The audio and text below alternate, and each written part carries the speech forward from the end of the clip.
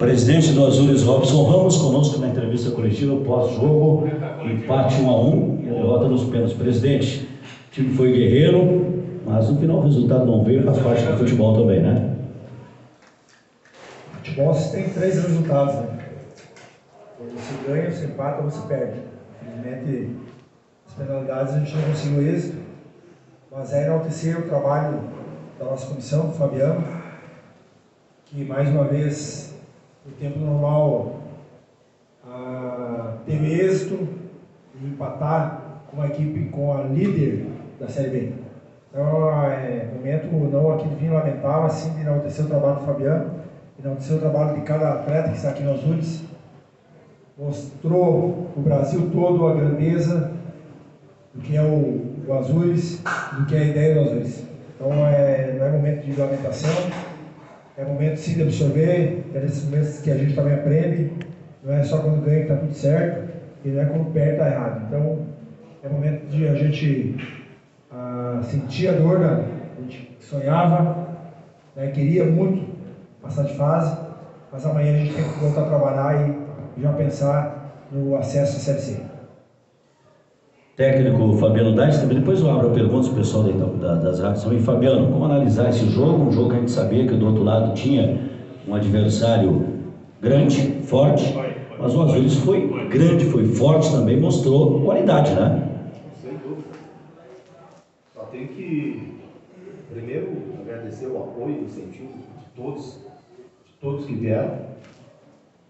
Dizer que a nossa equipe saiu na frente, enfrentamos, como o presidente falou, líder da Série B, um time que tem uma história e, e nessa hora aí a gente sabe que, que pesa em todos os aspectos.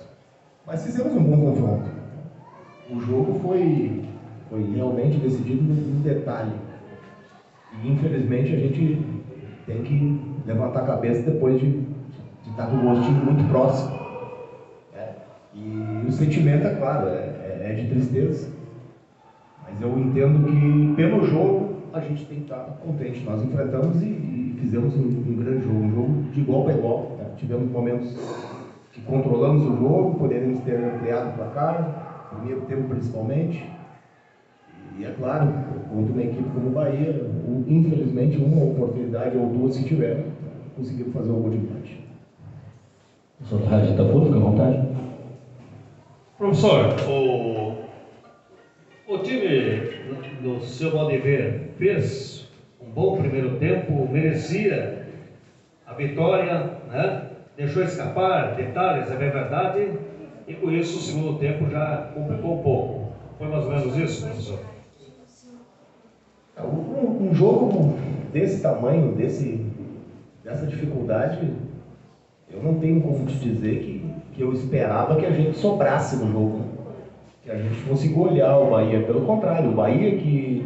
Foi, foi. O Bahia que nos dois jogos é, arrotou, né? Queria atropelar no primeiro, queria golear no primeiro. E, e veio aqui leva a classificação nos pênaltis, ou seja, tem que, tem que admitir o nosso valor e a nossa grandeza dentro de campo.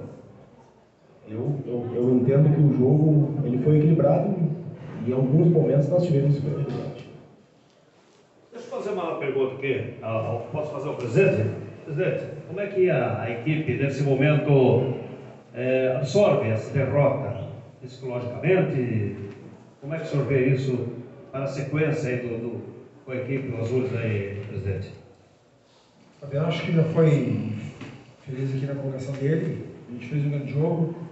Não é motivo de lamentação. A gente mostrou a força, o trabalho e a competência das pessoas que estão conosco, do nosso elenco, da nossa comissão técnica.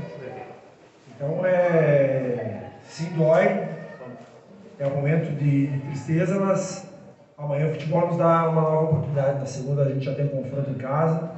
É, contar com o apoio uh, do torcedor novamente e, e, trabalhar muito porque a Série é um campeonato também difícil e agora é, tem que pensar o que passou. A gente tem que pensar para frente e tem que pensar no acesso, que é o próximo objetivo do clube.